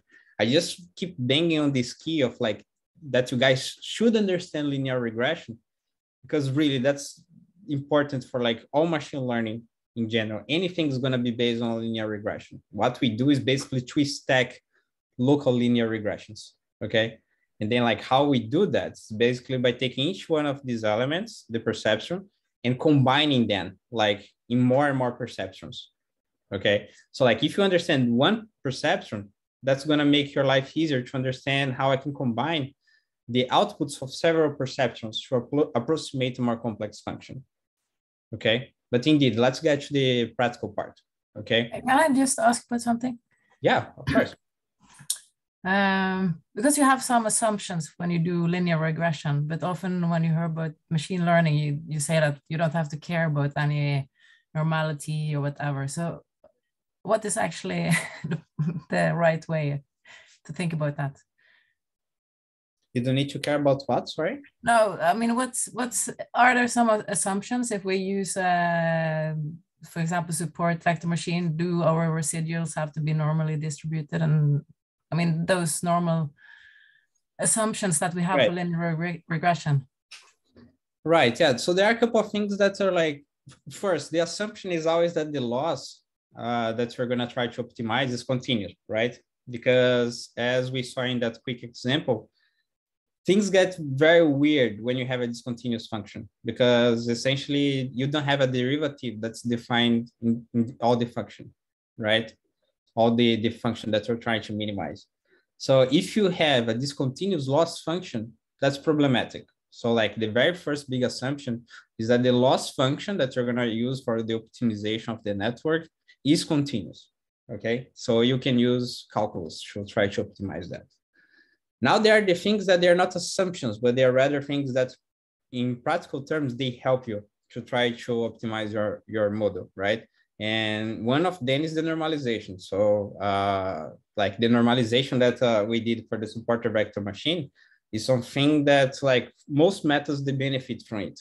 Uh, I think random forest doesn't, right? Because in the end of the day, it's not really trying to optimize anything. It's just like a set of like if else's that you're trying to do, right? They're local decisions. So like you don't need to, to have these uh, normalizations done in the uh, for random forest, but for all the other methods that are gradient based, uh, they all benefit from normalizations. Yes, perfect. And what about collinearity between variables? The what? Collinearity, correlation. No, yeah, if you have correlations, right? So for example, here we just saw like an example of like two variables that mm. were correlated, right? So like, let's say that like in this case, we had two features, right? That were highly correlated. Uh, I think you said climate and something else before. Sebastian. Yeah, temperature and elevation temperature and elevation, right? So we have the, the model being optimized not just to solve the problem, but also to do this balance here, right? So if there is uh, like correlation between the features in the data, the network is going to try to penalize very big weights like this, right? To always try to distribute it as even as possible. So you, you don't fully discard any feature of the data, right? Because in theory, that's going to make the problem easier to solve. Because if these uh, weights they are distributed, right, they're properly distributed, the shape of your loss function is more convex. Therefore, it's easier to solve, right? So like that's what we're trying to enforce in the problem, right? And I think that was it. You're just you're just asking about the correlation between the features, right? or did you ask anything else? Yeah, usually the assumption are, are this, if variable are correlated, normalization of the variables, uh, mainly these 2 mm -hmm. um, so if uh, in neural network, if you have, do you need any variable reduction, for example, if you have many variables? Uh, you're talking about, about the dimensionality of this. Yeah, uh, dimensionality. Do you need any dimensionality reduction? To, I mean, if you have lower dimension, right? So for example, lower dimension always helps with respect to uh, removing noise, right? So for example, one of the things that people do quite often, let's say that you have uh, 400 features per sample in your data, whatever features you have, right? but you don't need all those features to identify a trend in your data somehow, right? Because like they are uh, highly correlated or so on. So the network should be capable of identifying those features that although they are uh, they can be used, they're not as meaningful. So those they're gonna have lower weights, right? So you can try to speed up the process because the networks is still gonna try to account for all those features, right? You can try to speed up the process by per perhaps performing PCA, principal component analysis, to reduce the number of dimensions that you have in your data according to like the explained variance that you'd get with like lower number of dimensions, right? So let's say you go from 400 dimensions to 10 dimensions, and then you see how your problem is going to perform with those 10 dimensions. So people do that as well. It's not necessarily a thing that boosts performance overall, because the neuronal network is going to be capable of like uh, discarding those features if they're not really meaningful.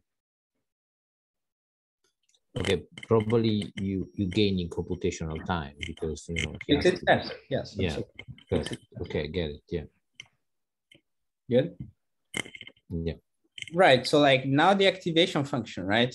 Uh, the activation function, which is this one block here that's between like the uh, weighted average, right, of like the inputs that you have and the actual output, it's something that's different from the linear regression, right?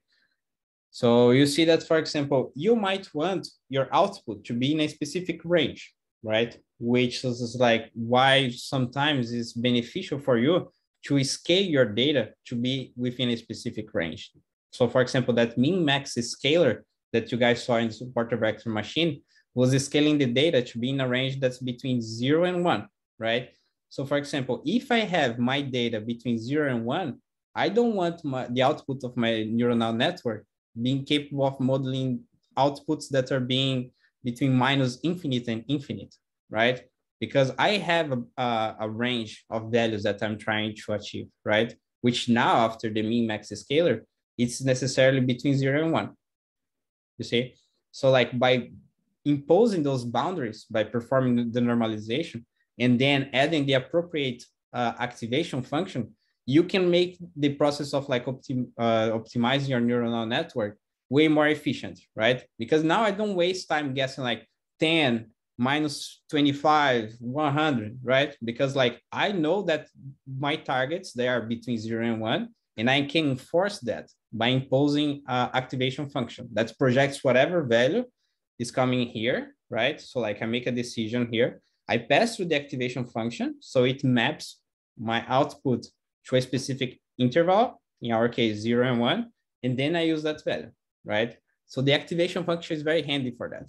Of course, there are other cases in which your uh, range might be different. So like it could be by between minus one and one, or you might just have like uh, values that they can go to like higher values, like beyond one, for example, but you never get negatives, right? So like you, you're not interested in like predicting negative values. So you might want to use this rectified linear unit, which like if it's below zero, is just zero. And if it's above zero, it scales linearly, okay?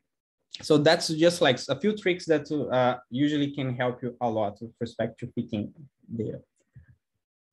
Antonio, Great. one question. Uh -huh. I can't, I, I didn't see anyone that goes less than minus two. Minus two? Yeah, if you want to go negative quite a lot. So th that's the thing, right? If you have data that is between minus infinite, uh, yeah. not minus infinite, and yeah, let's say that you have data that can be anything, going from minus infinite to infinite. What do you do? You just don't put an activation function, right? and then it allows you to have going from minus infinite to infinite. Ah, okay. So it's just a linear regression at that point, right? So the activation function is something to aid your capacity of modeling the data that you have because your data, assuming that is in a specific range, you want your network to be bounded to output things that are also in that range. You see? Yeah, and one point, and for example, the the tangent tan h mm -hmm. goes from minus one to plus one, but can go to any value minus 100 plus 100. Yeah, it can. I mean, those are yeah. things that you're gonna, let's say that's like. So the minus one plus one is just a, a symbolic yeah. value. Because okay. in the end of the day, you can just multiply that by 100. Yeah, perfect. Yeah, yeah, that's one. Yeah, okay. Okay. What does maxed out look like? Uh, I, I think there was a question. I just couldn't hear it. Can you increase the volume, Alonso? Yeah, yeah. So what does max out mean? So for example, if you if you are modeling temperature in Celsius, so the temperature in Celsius can go from minus 50 to plus 50. So you have a boundary that you don't want to overpassing because you know that you don't have temperature more than 50 and less than 50, uh, negative 50. So you can work with a, a tangent, tan h, you know, that goes from minus one to plus one. And of course, by multiply by 50, you can reach the range. I think he was talking about the max out, if I understood the question correctly, right? Ah, the max out, the other one. Ah, right. So, yeah, yeah. Uh, max out, yes. Antonio, this is for you. Yeah, yeah. Okay, yeah. So it's the max out. Let's assume that you have like uh two outputs that are being given by like uh you have a network, right? That's making two predictions simultaneously. So you see that I have like two sets of weights. Okay. So I want the, the maximum out of those two. So that's an activation function that you could use because now you have like two outputs being given to you and you're just going to pick whatever is the maximum one. So that's just like an option. Like if there is any application that would actually benefit from that, that's usually something that it's, it's a spin-off of the problem that you're working with, right? But for most of what we're going to be doing, we're just going to be dealing with like a single output because it's a regression that we're going to be working with, right? Okay, so I think we're in the point of finally looking at some code. But let's stop with this fury madness. let's go back to look at some code. Okay, so uh, Pepe, did you show them where to get the, the code? Yeah, once again, if you go to the SE data in the I'm virtual gonna, I'm gonna let you share your screen so you Yeah, can. yeah. And I'm gonna go get some water in the meantime. Yeah. So if you go, this is the virtual machine.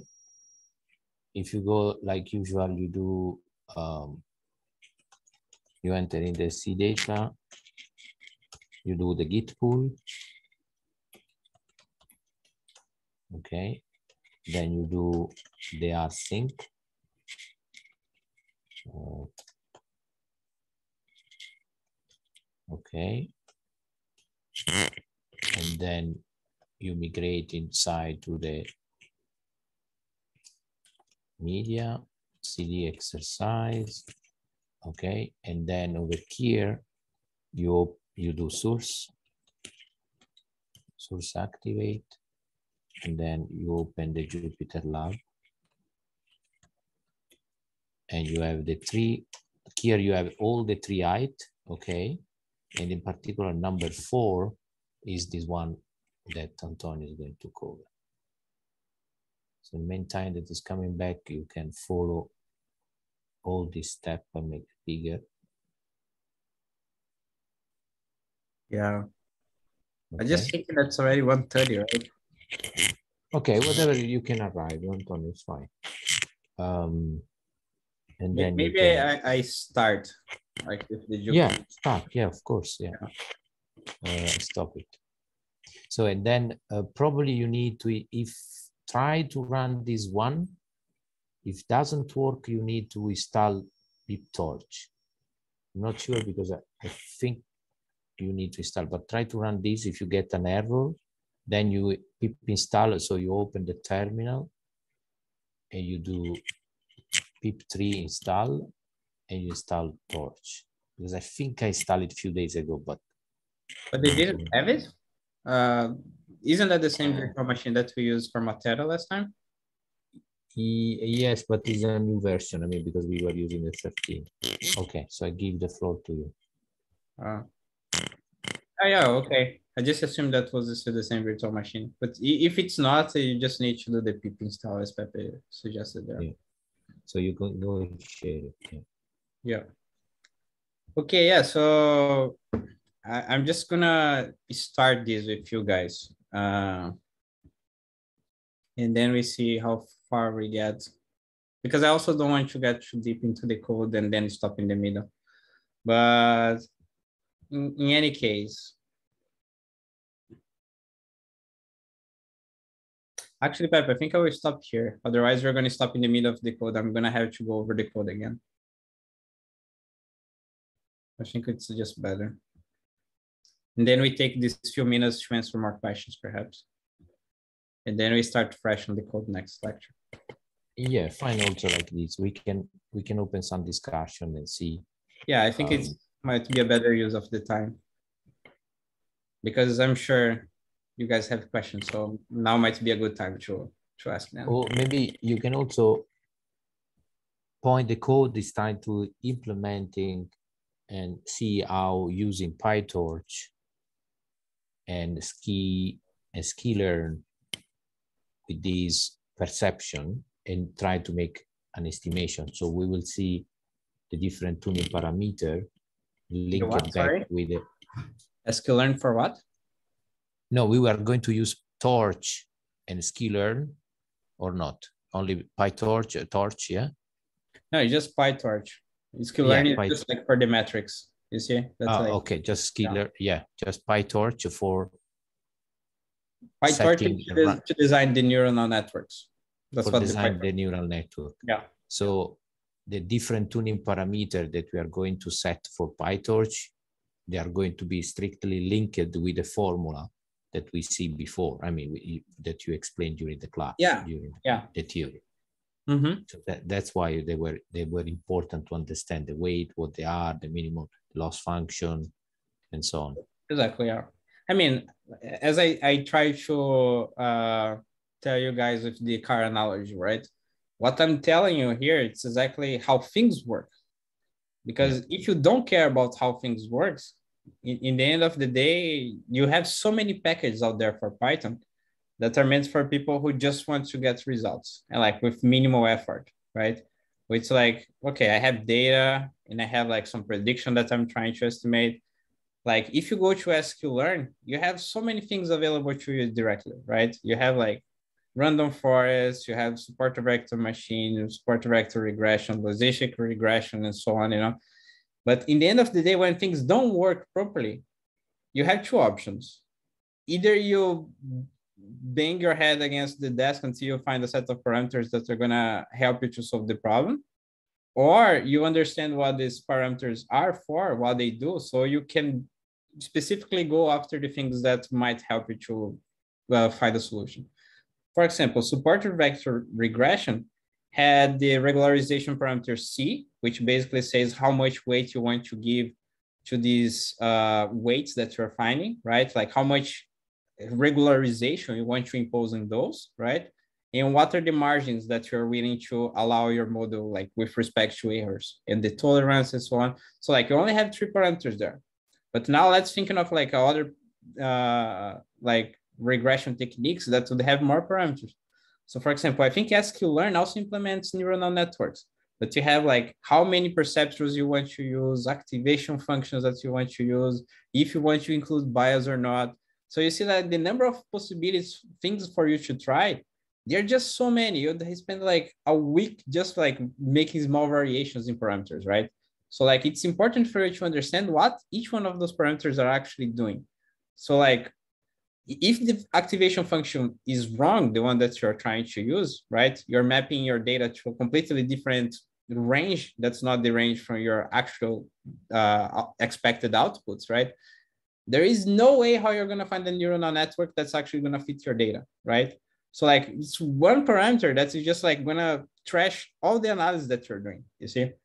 So like I, I hope that's the, the importance that you uh, can appreciate here. It's like, why is it important for you to understand each one of these components?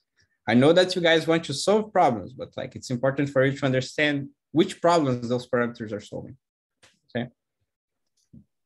Yes, in, to make an analogy of what Antonio was saying, we, we see with the random forest the other day that um, I think, uh, yeah, Antonio, you were not there, but for example, in, in sklearn in random forest, um, the default parameter are very, very, very prone to overfitting.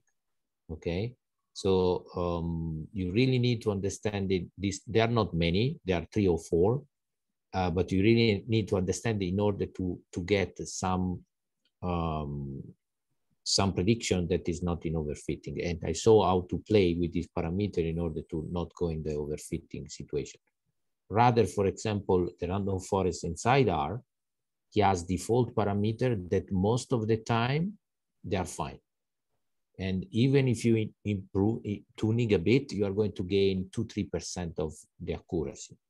Rather in, in the sklearn, you need to really tuning from, from a scratch. So, and I think now we will see next, next week that in, in neural network in PyTorch is even more uh, yes, like you say, more time consuming if you don't understand what to tuning in particular. So, um, yeah, that's why they are important. This this aspect it's not poor from it's, it's not only for understanding the math, but in order to become making applicable in the real life. Any one of you was try already to use a neural network for some analysis that he, and he was already dealing with a lot of this parameterization and he didn't know how to perform it and so on. Maybe Sebastian, you have tried something or? No. No. Okay. Good. It's gonna be new for everyone. Yeah, good. Also. Yeah. So for for example, also for me, I mean, I heard the Antonio lecture several times, but I never play with it. Okay, so this is important that we, we do it also from my side. Are you telling me to... that you don't do the exercise I propose? I will. Now I will. now I will. So um, uh, so in order to now I, I have also a study case that I really care like the tree height. So with that one, I think I will I will play a good part in, uh, in making the different estimation and so on. Okay, every any one of you is trying to to think how to use these, let's say not only neural network, but this machine learning technique for regression or even classification issues even if we are not covering, but the concepts are very similar. And maybe they want to spend a few few minutes to say, I'm thinking to do this kind of regression and so on. Because I know. I'm actually doing okay. uh, optimization for my research. I'm uh, estimating the reflectance of uh, surfaces on, on, on Mars actually. And I try to remove the uh, the shading of inclined surfaces. So when you, they are inclined uh, away from the sun, I want to estimate uh, the real surface as if the sun would uh, illuminate it from another angle. So, and I'm using reflectance models for that and um, multiple imagery um, from different angles, observed from different angles. So these are my input parameters. And um, then I try to, to model the, anisotropy of the surface. But cool. What are you using for, for that? What are you using to model that? Just simple. Uh, uh, LM LM fit Levenberg Marquardt. Oh, okay. Nice.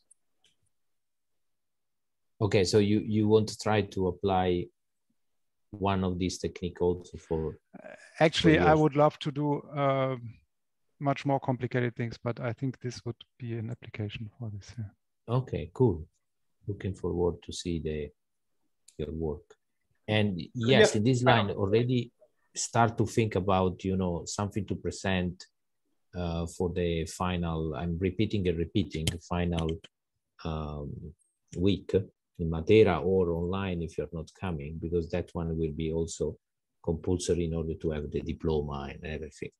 Um, so again, if you don't have any clue, you can even get the tree height, you know, and preparing all other variables and, uh, you know, and try other techniques, tuning better the parameters.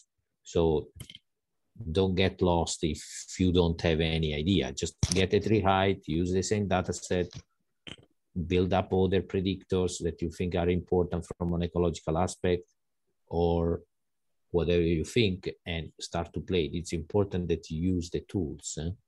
Yeah, uh, this is actually a fascinating idea that I can just uh, throw in a lot of data into this into some model, and I don't take I need to take care about the reflectance behavior of the surface. I just, um, for example, I have one image which is uh, illuminated from the side, and the other one is illuminated from the top.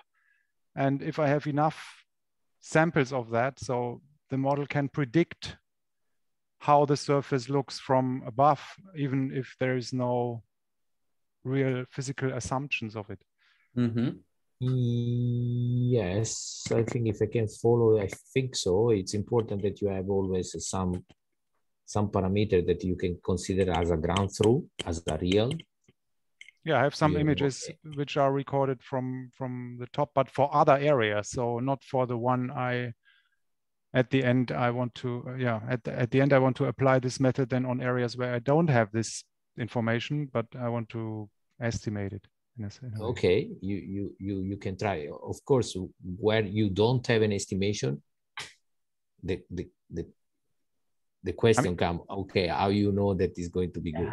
how do you validate like, that right yeah yeah how you validate yeah. it because can work for your study area and then you know is like in the spatial science if you have point in in germany and you build up your uh, your model in germany and then you try to apply in asia it's, maybe it's tuned just for so it's, it's very tuned for germany and not for asia then even Asia, there are perfect the same conditions, then it's going to work.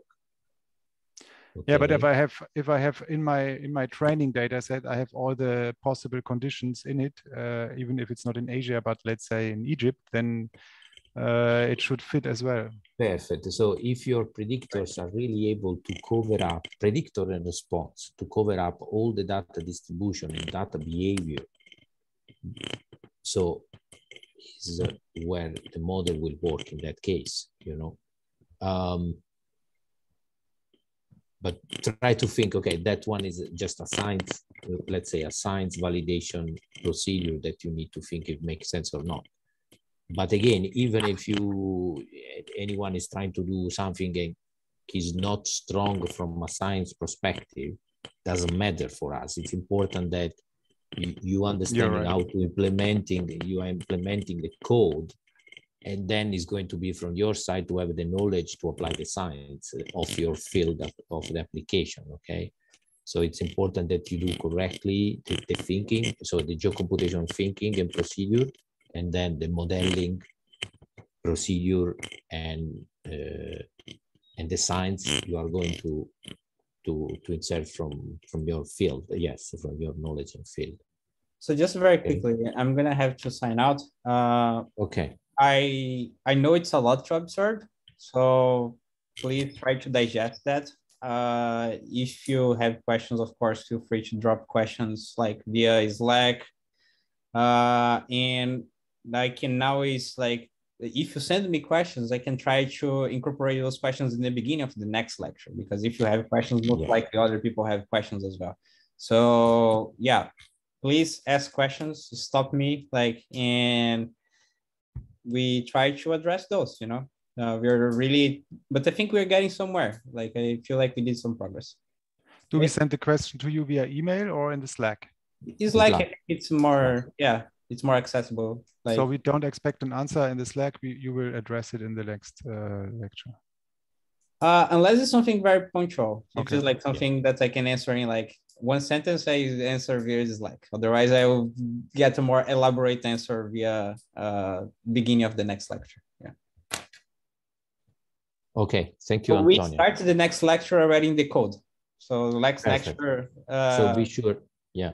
Be sure be that sure you... to have the code yeah. ready. Okay, thanks, Antonio. Cool. Okay, see you guys. Bye bye. Ciao, ciao. Thank you. Bye.